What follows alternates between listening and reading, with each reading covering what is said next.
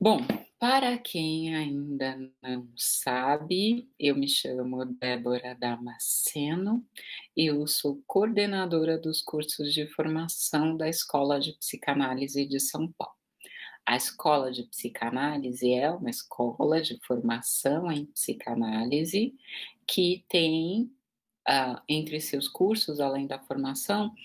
cursos diversos, assim, relacionados com essa estrutura do psiquismo. A gente preza na escola pela psicanálise, a nossa principal leitura, a nossa principal observação da realidade é feita a partir da psicanálise e, eventualmente, por curiosidade, por interação, nós conversamos também com outras áreas que achamos que são parceiras nossas, como a filosofia, como alguns aspectos da, da neurociência, e algumas que a gente não sabe ao certo se são parceiras ou não, mas que são interessantes, que são atraentes e que a gente gosta de trazer para a discussão. Na, na, na escola de psicanálise, o nosso objetivo, primeiro, principal, é justamente ensinar psicanálise para as pessoas que não têm formação da área ou que estão começando os seus estudos. E porque nós estamos lidando com iniciantes, a gente tem a preocupação ou o interesse de que a linguagem seja acessível, de que as comunicações façam sentido dentro da, da, das, dos interesses, das perspectivas que nós temos no dia a dia. A gente então sempre é, procura começar de um jeito fundamental, de um jeito básico, ou seja, ocupado com os fundamentos, ocupado com aquilo que está na base, e na medida em que vamos crescendo nos nossos estudos, vamos nos sofisticando.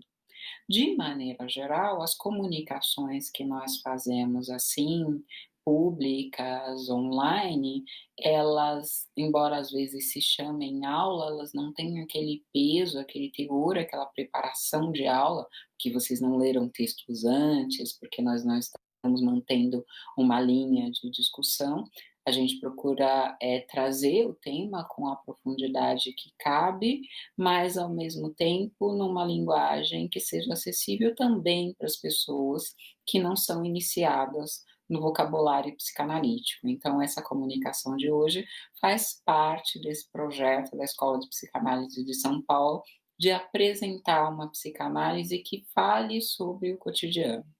É, eu sempre tive uma, uma noção, assim, que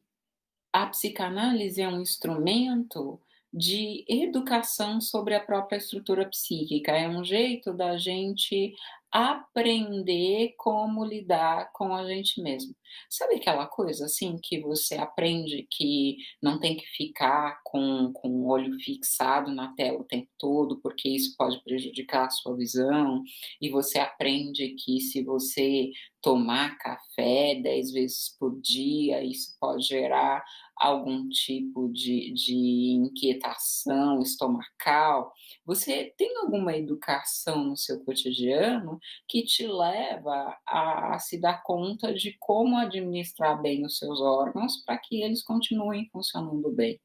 E isso não é verdade quando a gente fala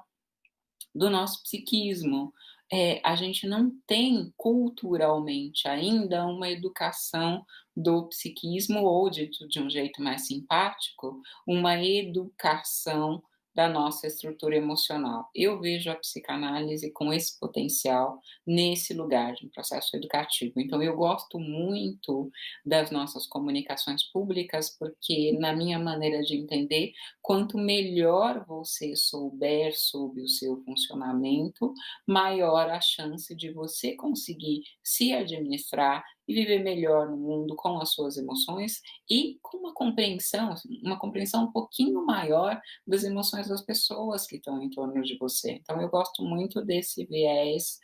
uh, didático da psicanálise. O, o Freud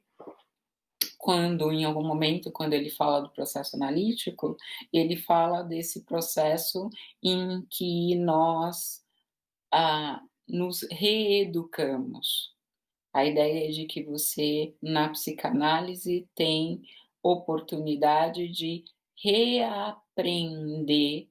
alguns elementos da, da sua vida, reinterpretar alguns elementos da sua vida que você mantém como resquício da infância, mas que na atualidade não são mais funcionais. Gosto muito disso porque, de maneira geral, a gente tem uma noção que que você vai fazer um processo psicanalítico porque está doente ou porque está sofrendo. E é possível isso, mas também é possível que você faça a psicanálise simplesmente para se perceber melhor e para agir no mundo atual, no mundo que você está, de um jeito que para você seja mais funcional, de um jeito que para você seja mais atraente, interessante, enfim, que, que seja mais um processo de conhecimento e de adaptação e não simplesmente um processo de resolução de problemas, que já é bom também.